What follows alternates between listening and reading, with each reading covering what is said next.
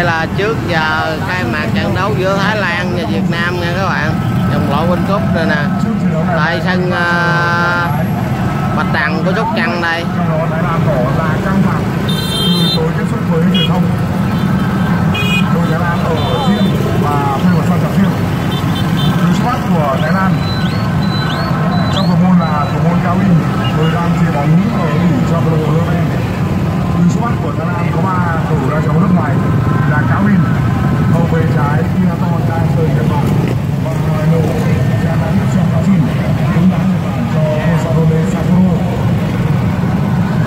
so với trận đấu ở lượt đấu trước khi bị thua trên sân của Malaysia thì đội tuyển Thái Lan trong trận đấu này có bốn sự thay đổi người dù họ vẫn có sự vắng mặt của Cherabit Samradin trong người xuất phát một trong những sự thay đổi của đội Thái Lan ở trận đấu gặp đội tuyển Việt Nam là ở vị trí thủ môn với sự xuất hiện từ đầu của Cabin nếu là đội bóng của Nishino đã có 5 vị trí bàn ở vòng đấu cấp. Con số này của Việt Nam là 4 người. Một cuộc du hùng cao của Á giữa Việt Nam và Hoa Đồng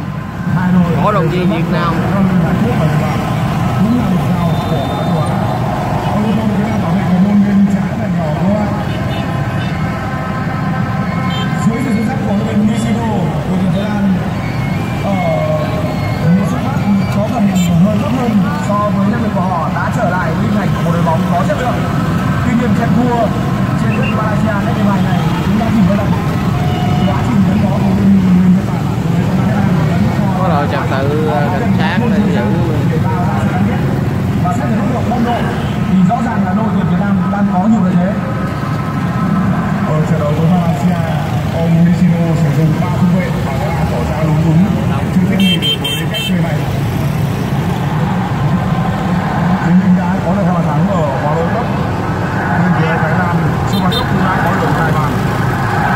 trong vai chính ở trận đấu ông Lan Cát là người bắt chính ở trận chung kết tại Quỳnh Châu thua Việt Nam vào vùng đồng kết sang hiệp một trận đấu đã bắt đầu. Diễn ra sớm trong trận thi trên đất Thái Lan. Ngay ở Mày thế là cắt cho một cho em ơi. Trận đấu ở nơi của hai đội diễn ra trong điều kiện ờ, sân bãi có vận không thật sự lợi. Cơn mưa lớn đã khiến cho mặt sân trơn trượt và ảnh hưởng nhiều đến lối đá kỹ thuật của